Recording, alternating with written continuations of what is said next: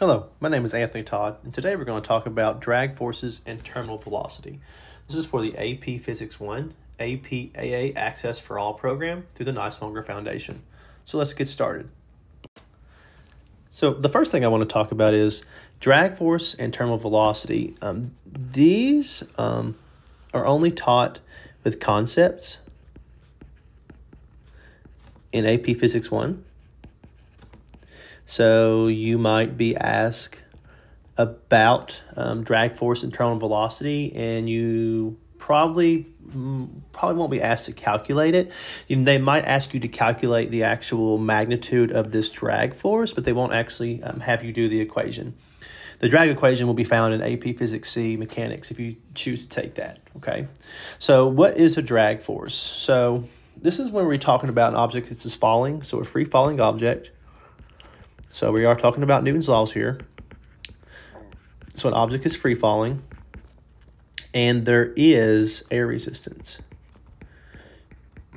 Now, this is kind of like the real world situations. So all the problems we did in AP in the first part, of unit one and two, um, or sorry, unit two and three with the, you know, projectile motion, we all assumed that the everything is frictionless, but now we're going to have some air resistance. And this is kind of a play on friction. So whenever you hear air resistance, I want you to think that air resistance is just a fancy word for friction. And this friction, or this causes a force. So friction is a force that opposes motion, and this force that's opposing an object falling through the air. Here we have Benedict Cumberbatch, obviously one of the best Sherlock Holmes ever. He's falling through, and he's actually um, free falling, and he's actually falling through a fluid. This is kind of a play on um, AP Physics 2, which will soon to be AP Physics 1 curriculum, fluids, is that air is actually a fluid. So air is a fluid. It's kind of a fun fact. So when you're falling through the air, you're actually falling through a fluid. So we can actually calculate the drag forces um, the same way an object falls through water as an object falls through air. The only thing difference between water and air is just the viscosity or how dense the water versus the air actually is. So a drag force is just a force that opposes an object falling through a fluid, okay? Pretty simple. Now, terminal velocity is another term we have learned, you've heard before. Now, terminal velocity is, in fancy terms, or just, I would say kind of layman's terms here, is just the max speed an object can fall in a fluid.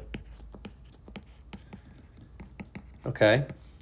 So, example, like a person jumping out of a plane. Uh, when we know a person jumps out of an airplane and they're you know they're going parachuting, or they're sorry they're going skydiving, um, they actually um, only fall at approximately so their velocity terminal. So, example, terminal velocity um, in physics is actually denoted with this v subscript t. So that's terminal velocity. So if you see me write that, and that's an example, a terminal velocity for a person falling through the air is approximately 150 miles per hour, give or take. Okay, so what that means is as this person starts to fall through the air, um, the faster they move, the more drag force they are um, experiencing. So the force of drag is proportional to the velocity squared. Um, and that's something you'll learn a little bit more in AP Physics C if you choose to take that. So as this drag force increases, okay, um, it slows this object down. So what's interesting is even though the object at terminal velocity is still moving downwards, this object is still moving down, um, the object is not accelerating, okay? So this is when all your forces are going to be equal zero. So we can actually kind of say that the object is in equilibrium. So the object is in equilibrium when it is at terminal velocity. So let's kind of look at that with a Newton's second law perspective. So here we have an object that's falling, two objects I would say, and how can we write this with Newton's laws, okay? So here we, just, let's take this bowling ball. So we have the bowling ball falling through the air. And if we were to draw a dot diagram, so or a free body diagram of this bowling ball at terminal velocities, this is going to be at velocity terminal, so at terminal velocity. Um, the mass times gravity is going to be pulling down, and we know at terminal velocity, the summation of all our forces is equal to zero. Well, that means there has to be a force equal and opposite, equal and opposite of our mass times gravity pulling up. But we know that there isn't a normal force. Remember, if we put this bowling ball on a table, so this bowling ball was just resting on a table, it would have this mass times gravity pulling you down, and it would have a normal force pressing up. Because remember, normal force is the force um, that opposes the, uh, an object touching a surface. So here's a surface. But when an object is in free fall, there, there's not a surface. So what is pressing up on it? And the answer is that drag force, or it's that fluid. So what's posing upwards? It's the force of drag. So when an object is moving um, as fast as it can possibly go, and it can't go any faster because this drag force cancels this out, and it makes that net force zero. So the object cannot accelerate, so it can't speed up, can't slow down. Now, how a person, or going back to the parachute example, how a parachute, how a parachuter, you know, lands safely. Obviously, we know if they don't deploy the parachute, remember you're coming back from the gulag in Call of Duty or something of that nature um, how do you slow down is, well, you have to deploy your parachute. And what that parachute does is it increases this drag force drastically compared to the object's mass times gravity pulling it down. So you get a deacceleration um, slowing you down. So this is kind of why parachutes are important. And it's kind of how it relates to the drag force. So parachutes increase that drag force. But when you're at terminal velocity, um, the drag force is equal to the object's weight. So force of drag is equal to the object's weight. All right. Now, let's look at graphing terminal velocity. Now, this is something they might ask you to do. I know there's going to be some labs where you're going to have to do this.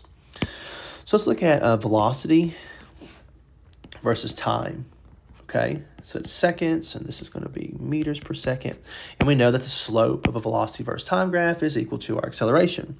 So let's just say we have an object, or again, the same bowling ball, and let's say down is positive, okay? And up is negative. So what's going to be interesting here is this object is going to have an initial slope of this. And let's denote some velocity, term velocity up here. So this will be velocity terminal or terminal velocity. So as the object, object starts to fall, it gets faster and faster, and that drag force slowly increases. So what you think about over time over here? Let's think about over time.